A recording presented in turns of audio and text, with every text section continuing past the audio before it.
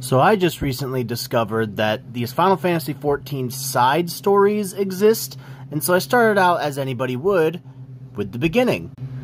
But what I discovered is that they decided to do my main bitch Kan-E-Senna real fucking dirty. A woman who has earned the respect of her people by always letting her actions speak as loud as her words, her affable demeanor belies the brave heart which beats beneath her tiny breast? They just legit said she had tiny tits without any recourse. Shame on the Final Fantasy XIV writers for doing this to my main girl.